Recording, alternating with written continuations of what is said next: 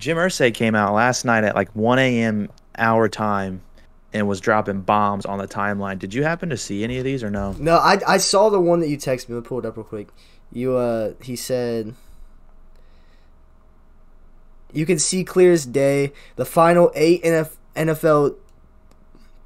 Well, that doesn't make any sense. He said like that, but playoff teams, you need a QB and offense who can score thirty or more in regulation, and a defense that can hold an opponent under thirty.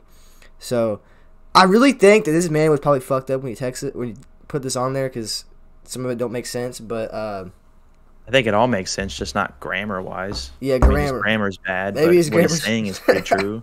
yeah, it's pretty true. His grammar was kind of messed up in it, but uh, yeah, I, He's spot on. He literally put in there, you need a QB who can score 30 or more in regulation. Pretty bad. that, that is that a sign that Carson Wentz is like out again? We're gonna talk about this. That that's a sign that uh, he might not have trust in his old quarterback there. Um, he also put some more stuff in there. Um, he, just after that one, he says, "I am on the West Coast, so it's 11:15 p.m., but I do stay up late. Creative thinking comes in the silence sometimes, and nobody is watching the gold late at night, early morning." Then he came out with a video this morning talking about willingness opens the door to God's direction and faith. Hashtag willingness. I don't know if that is football related or is that more like religion relate related but willingness you can kind of hint on that um, the willingness to go make a play as an organization to maybe get a better quarterback i don't, I don't know if we're reaching now um, but i just think it's jim Irsay being jim Irsay, he's not going to let this stuff go um, you would think usually this is the point where some silence starts to creep in uh, before you know the playoffs are still going on. Your team's eliminated. You already did the end of the season presser. What else do you have to say? Um, but Jim Irsay is still being loud and vocal on the timeline. What are your thoughts? I think that okay, one obviously has a pass, but the thing is, I think really, I think he might since he stays on the West Coast, he might you know just be away from kind of the Colts you know area, and he's kind of thinking in his own head.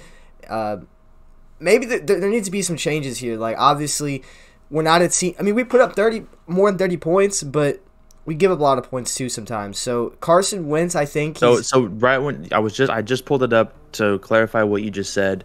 The offense scored 30 or more in regulation in seven of 17 games. We did it against the Texans, Niners, Titans, Jets, Bills, Bucks, and Texans. Again, the defense held the opponent to, to 30 and under in 15 of 17 games. Only teams we didn't do that against is Titans and Bucks. So the defense did their thing. The offense only seven games this season. That's And I don't not wrong. if you're as a Colts player, I don't think they should like this isn't something that he's like bashing the Colts for straight on exactly. He's kind of just making it a point like that's what you need to focus on. He's not look saying, at the teams remaining and look what they're doing. yeah, straight facts. Like he's not saying like Indy like look, uh you're not doing this. He's just saying like that's what we need to like focus on really. And Yeah.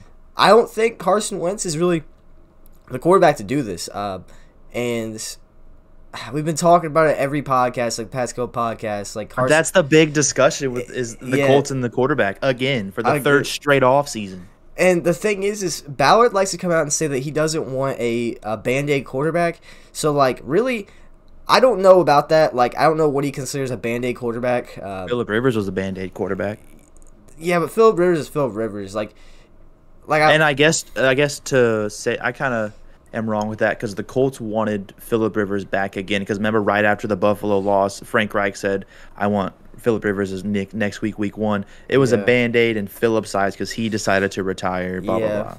And I mean that leads to another discussion, like as in the Colts, like we've already talked about who they want, but I don't know if you saw the Pat McAfee show where he sat there. Did you see that? I When saw what he said. He Yeah, was like, but man, I I really hope. I mean, the odds of that's not like zero to I don't know, but The Colts don't. So let's get right into it.